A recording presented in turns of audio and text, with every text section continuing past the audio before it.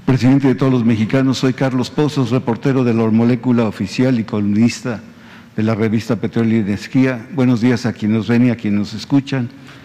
Antes de iniciar mis dos preguntas, tengo dos sugerencias, presidente. Una sugerencia, con todo respeto, es que en el quién en quién, el quién es quién, en las mentiras de la semana, puedan participar colegas que asistimos a este ejercicio de comunicación circular, como es el doctor José Luis Palacios, o quienes deseen participar, e incluso Genaro Villamil y Rodolfo González, para hacer juntos con Elizabeth García un mejor análisis de la información expuesta. Observo, presidente, que se han dejado de contabilizar las notas neutras. El balance es lo que buscamos los reporteros independientes.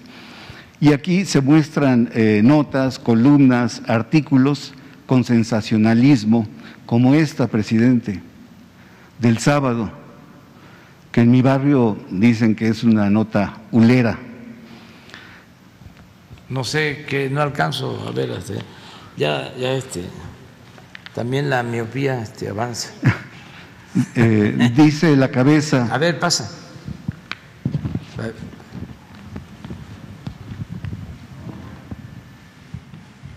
Ah, ¿No lo tienen ahí ustedes? Pónganlo.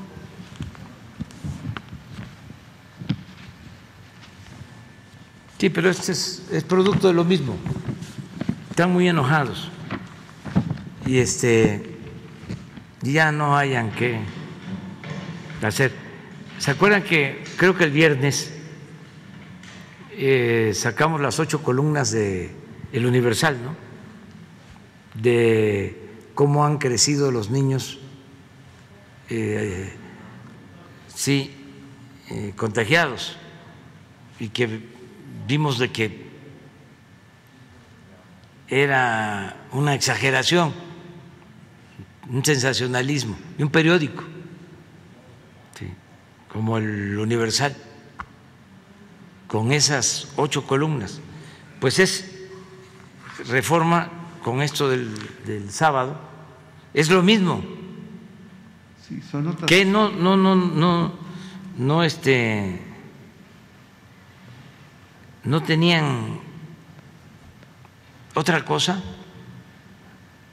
pero es eh, una obsesión. Es el sesgo que se le da a la información, sí, la mala leche. Sí, están muy molestos este, ellos y sus este, jefes. Súbela.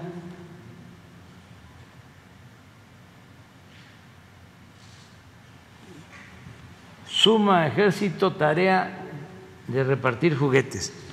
Esto es porque en el Tianguis del Bienestar participan pues muchas instituciones y se llevan mercancías, telas, zapatos a entregar a la gente más pobre de México.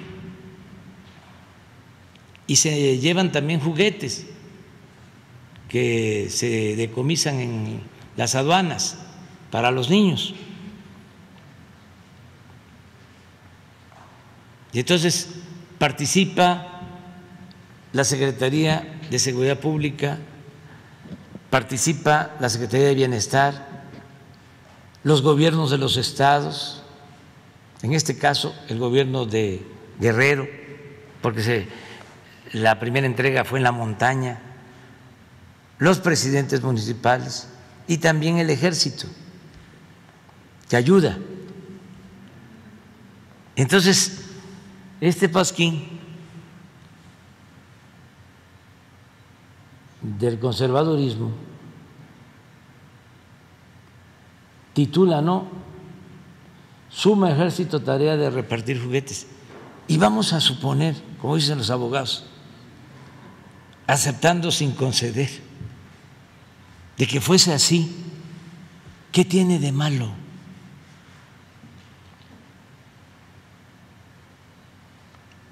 ¿Qué tiene de malo que el ejército también entregue juguetes en las zonas pobres? ¿Qué no va el ejército a rescatar a la gente cuando hay inundaciones cuando hay terremotos, rescata a niños, ancianos, eh, animalitos, perritos, que no es una labor humanitaria. ¿Saben qué es el juguete para el niño?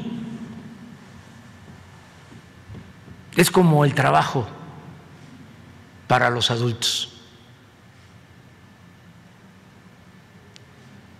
Nada más que eso. No lo van a entender. Los que tienen endurecido el corazón. Eso no lo entienden.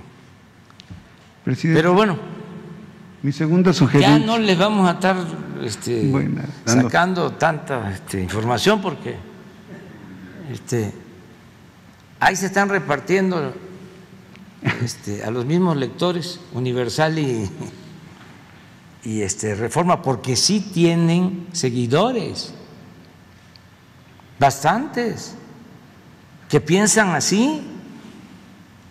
Ellos nada más lo que hacen es recrear un pensamiento conservador que existe, que es muy fácil de manipular. porque no eh, exige, demanda argumentos. Tiene que ver más con los sentimientos, con las pasiones. Entonces, como son muy conservadores, se obnubilan y entonces todo lo que publican, este, el Reforma, el Universal, de este tipo, se lo consumen. O sea, lo aceptan y además se sienten bien. Es un fenómeno, pero así es la democracia, tiene que eh, aceptarse la opinión de todos, y siempre ha existido el pensamiento conservador. Lo importante ahora es que se tuvieron que quitar la máscara quienes fingían ser liberales, independientes, cuando son independientes del pueblo no de los grupos de intereses creados, porque... A ver, a ver, a ver, a ver. BMW.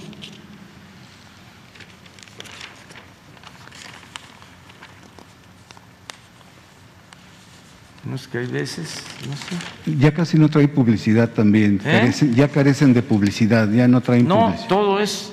Ah, miren.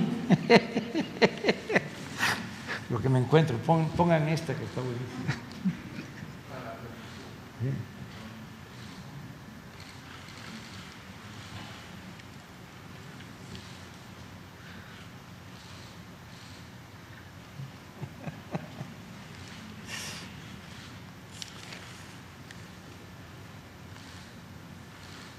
Y los este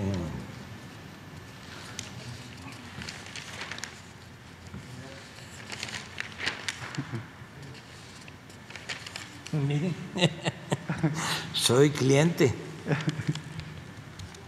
Pero hay otro, otro también. La de Calderón, sí.